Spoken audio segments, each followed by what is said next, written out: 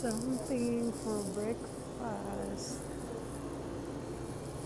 Look what we have here.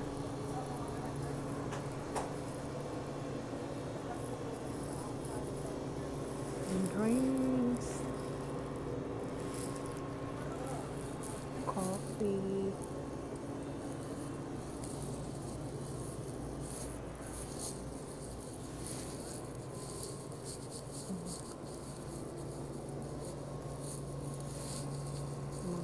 More coffee.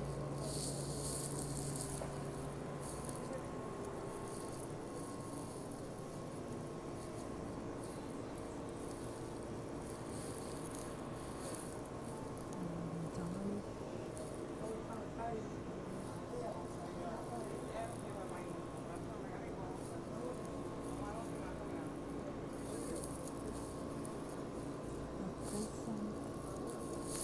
Okay, so-